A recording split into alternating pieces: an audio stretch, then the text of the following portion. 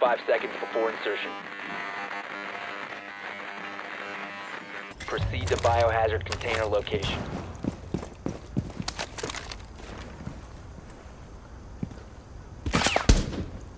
I'm dry!